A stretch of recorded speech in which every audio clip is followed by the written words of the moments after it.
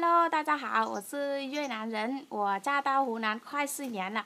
我在这里生活快四年了，可是很多人都不知道我叫什么名字。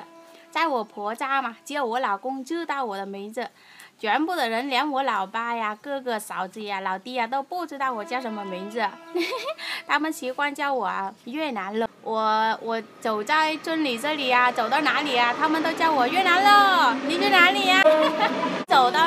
他们都知道我是越南人。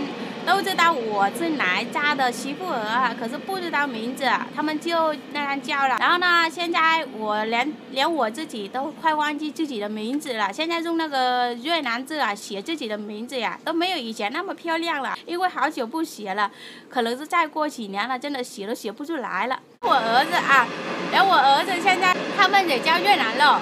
他明明是中国国籍的，可是大家都叫他越南佬，我真的搞不懂了。我是越南人，叫我越南佬，那我还能理解。我儿子他明明是中国人，可是他还变越南佬了，是不是？你是越南佬还是中国佬？哈，你是不是越南佬？是不是？